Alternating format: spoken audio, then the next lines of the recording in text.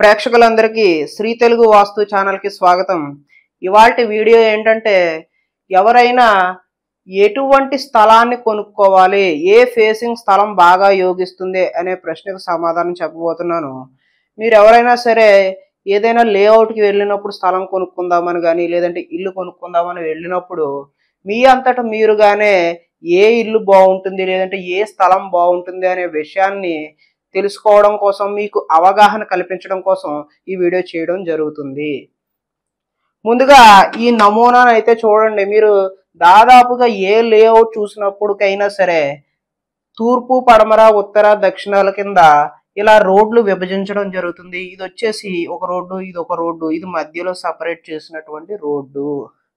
ఈ లేఅవుట్లో నేను స్థలాలను మార్కింగ్ చేశాను. ఒకటి రెండు మూడు నాలుగు ఐదు అలాగే ఇక్కడ వరకు ముప్పై వరకు నేను విభజించడం జరిగింది. ఇది ఈస్ట్ ఫేసింగ్ ఇది ఉత్తరం ఇది వచ్చేసి వెస్ట్ ఇది దక్షిణం.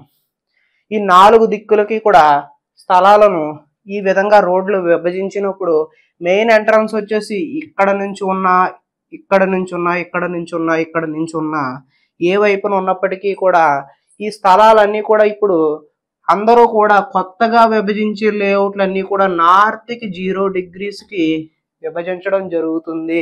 ఇది శాస్త్ర సమ్మతం. ఖచ్చితంగా నార్త్ జీరో డిగ్రీస్ ఉన్నటువంటి స్థలాలు హండ్రెడ్ పర్సెంట్ యోగించడం జరుగుతుంది. కాబట్టి మీరు ప్రప్రథమంగా ఏదైనా స్థలం కొనడానికి వెళ్ళినప్పుడు మొట్టమొదటిగా మీరు దిక్సూచిని పట్టుకుని వెళ్ళి తూర్పు పడమర ఉత్తర దక్షిణాలు అలాగే నార్త్ జీరో డిగ్రీస్కి ఉన్నదా లేదా అనే విషయాన్ని మొట్టమొదటి విషయంగా మీరు పరిగ్రహించవలసి వస్తుంది. ఇల్లు కొనడానికి వెళ్ళినప్పుడు కూడా నార్త్ జీరో డిగ్రీస్ ఉన్నదా లేదా? లేదంటే ఎన్ని డిగ్రీలు టిల్ట్ అయ్యింది అనే విషయాన్ని కూడా మీరు చూడాలి.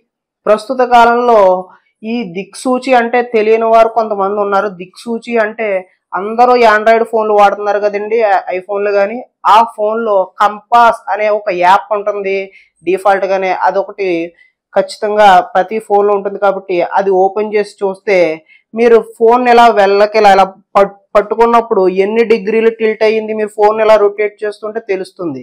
ఒక దారాన్ని తూర్పు నుంచి పడమరకు కానీ ఉత్తరం నుంచి దక్షిణానికి కానీ కట్టి అక్కడ మన ఫోన్ ఇలా parallel ఆ దారం కింద ఉంచినప్పుడు అది ఎన్ని డిగ్రీలు టిల్ట్ అయిందనే విషయం క్లియర్గా అర్థమవుతుంది. మీరు కొంచెం కన్ఫ్యూజ్ అవుతే రాబోయేటట్టు వీడియోలో ఏ విధంగా మనం కంపాస్లో నార్త్ జీరో డిగ్రీస్ ఉందా లేదంటే ఎంత టిల్ట్ అయిందనే విషయాన్ని ఎలా చూసుకోవాలో ఎక్స్ప్లెయిన్ చేస్తాను. ప్రస్తుతానికి నార్త్ జీరో డిగ్రీస్ ఉందా లేదా అనే విషయాన్ని చూసుకోండి. తరువాత చాలా మంది తూర్పు ఫేసింగ్ ఇల్లు అంటే తూర్పు ఫేసింగ్ అంటే తూర్పున ఇది వచ్చేసి తూర్పు కదండి ఈ తూర్పు రోడ్డు. ఈ తూర్పు రోడ్డుకి ఈ మూడు ఎనిమిది పదమూడు పద్దెనిమిది ఇరవై మూడు ఇరవై ఎనిమిది ఇలా ఈ ఇవన్నీ కూడా తూర్పు ఫేసింగ్ రోడ్డు ఉన్నటువంటి స్థలాలు అవుతాయండి లేదంటే ఇళ్ళు అవుతాయి.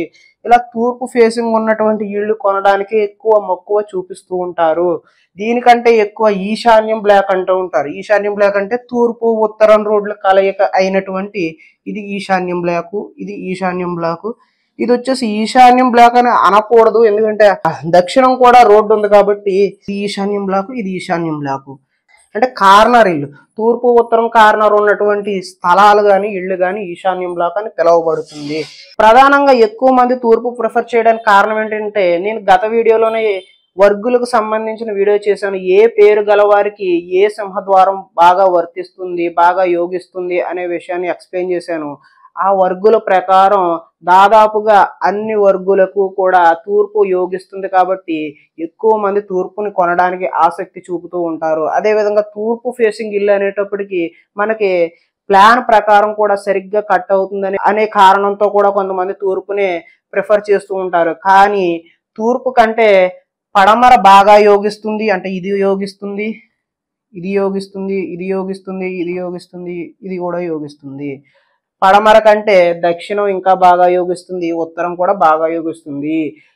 కాకపోతే ఏ దిక్కు ఉన్నప్పటికైనా సరే మనం ఎంత బాగా వాస్తు ప్రకారం డిజైన్ చేసుకున్నాము ఎంత బాగా ప్లాన్ చేసుకున్నాం అనే విషయాల మీద ఆ ఇల్లు యోగించడం యోగించకపోవడం అనే విషయం ఉంటుంది. కానీ ఏ రకమైన ఏ మహర్షి రాసిన వాస్తు శాస్త్రాన్ని మనం పరిశీలించినా సరే పలానా దిక్కు స్థలం మాత్రమే బాగా యోగిస్తుంది. పలానా దిక్కుకు చెందిన ఇల్లు మాత్రమే బాగా యోగిస్తుంది అని చెప్పేసి ఒక్క రెఫరెన్స్ కూడా ఎవరో చూపించలేరు. ఎందుకంటే ఆ గ్రంథాల్లో లేదు. తూర్పుకు గల కారణం మాత్రం నేను ఎక్స్ప్లెయిన్ చేశాను. తూర్పు బాగా కట్ అవుతుంది. అదే విధంగా తూర్పు ఎక్కువ మందికి యోగిస్తుంది కాబట్టి. ఇప్పుడు మనం ఇల్లు కట్టుకున్నాం. ఇల్లు దాదాపుగా ఎనభై ఏళ్ళ నుంచి వంద ఏళ్ళ వరకు ఉంటుంది. మన పిల్లలకి వేరే పేర్లు వచ్చినప్పుడు అలా వర్గులు మారుతూ ఉంటాయి. మన కాలానంతరం వాళ్ళకి అది యోగించాలి అనే ఉద్దేశంతో కూడా ఎక్కువ మందికి యోగించే విధంగా తూర్పు ఉంది కాబట్టి తూర్పును ప్రిఫర్ చేస్తూ ఉంటారు. తూర్పు లేదు ఈశాన్యం బాగా యోగిస్తుంది. కొంతమంది ఆగ్నేయం బ్లాక్ అంటే దక్షిణం మరియు తూర్పు కలిసినటువంటి బ్లాకులు. ఇది మూడవది పదమూడు ఇరవై మూడు. ఇవి మూడు కూడా దక్ష ఆగ్నేయం బ్లాక్ అవుతూ ఉంటాయి. ఆగ్నేయం బ్లాక్ కొనడానికి చాలా మంది సంశయిస్తూ ఉంటారు. ఎందుకంటే ఆగ్నేయం బ్లాక్ వచ్చేసి అగ్నిదేవుడికి సంబంధించింది. అదేవిధంగా ఆగ్నేయం బ్లాక్లో ఉంటే తరచూ గొడవలు జరుగుతాయని భయపడుతూ ఉంటారు. కానీ అది అపోహ మాత్రమే. ఆగ్నేయం బ్లాక్ కూడా బాగా యోగిస్తుంది. ఆగ్నేయం బ్లాక్కి దక్షిణానికి మనం సింహద్వారం పెట్టుకుంటే ఇంకా మంచిగా యోగిస్తుంది.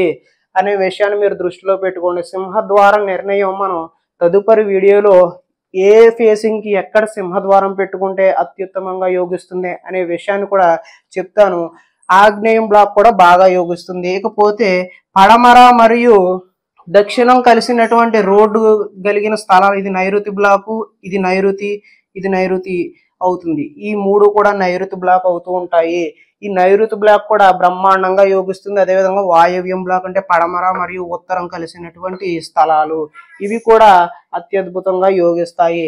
ఏ స్థలం అయినప్పటికీ మనకి ఎంత వాస్తు ప్రకారం కట్టుకున్నాము ఎంత బాగా మనం డిజైన్ చేసుకున్నాము అనే విషయాల మీద మాత్రమే మనకి ఆ ఇల్లు యోగించడం యోగించకపోవడం ఉంటుంది తప్ప అది మనకి మన వర్గునకు చెందినదా లేదా మన సింహద్వారం అవునా కాదా? అది మన ఆయానికి ఉందా లేదా? ఇనే విషయాల మీద మాత్రమే డిపెండ్ అవుతుంది కానీ ఫలానా ఫేసింగ్ స్థలం ఫలానా ఈశాన్యం బ్లాక్లో మాత్రమే ఉంటే మనకు బాగా యోగిస్తుంది అనే విషయం మాత్రం అపోహ మాత్రమే. అలాగైతే అందరూ ఈశాన్యం బ్లాక్ ఇల్లులే కొనుక్కుని అక్కడే కట్టుకుంటుంటే రిమైనింగ్ స్థలాలు ఏం చేయాలండి? ఏం చేయడానికి ఉండదు. అదేవిధంగా స్థలంతో పాటు పరిసర వాస్తు కూడా మనం హండ్రెడ్ పర్సెంట్ గమనిస్తూ ఉండాలి. పరిసరాలు ఎలా ఉన్నాయి? రోడ్లు ఎలా ఉన్నాయి? వీధి చూపులు వీధి షోలలు వీధి పోట్లు ఏమన్నా ఉన్నాయా? వాటి యొక్క డ్రైనేజీ సిస్టమ్ ఏ దిశగా ప్రవహిస్తూ ఉంది? దగ్గరలో కాలువలు ఏమన్నా ఉన్నాయా? గుట్టలు ఏమన్నా ఉన్నాయా? పెద్ద పెద్ద అపార్ట్మెంట్లు తూర్పును చేర్చి కానీ ఉత్తరాన్ని చేర్చి కానీ ఉన్నాయా? ఒకవేళ ఉంటే వాటి కాంపౌండ్ మన కాంపౌండ్ కామన్ అవుతుందా కామన్ అవ్వట్లేదా? ఇలా చాలా విషయాలు అయితే మీరు దృష్టిలో పెట్టుకోవాల్సి ఉంటుంది. నేను మీకు బేసిక్ అవగాహన అయితే కల్పించాను. ఇంకా ఎవరైనా సరే ఏదైనా స్థలం కానీ ఇల్లు కానీ తీసుకోవాలనుకుని మీరు ఇటువంటివి చూసుకోలేము కన్ఫ్యూజన్లో ఉన్నామంటే మమ్మల్ని సంప్రదిస్తే మేము విజిట్కి వచ్చి ఖచ్చితంగా చూసి మీకు అది యోగిస్తుందా లేదా అనే విషయాన్ని కూడా చెప్పడం జరుగుతుంది. విజిట్లకు మాత్రం ఛార్జీలు వర్తిస్తాయి. ఫోన్లో మీరు మీకు ఉన్నటువంటి సందేహాలు అయితే అడగవచ్చు. సందేహాలకు అయితే ఎటువంటి ఛార్జీలు వసూలు చేయవు ఉచితంగానే చెప్పబడతాయి.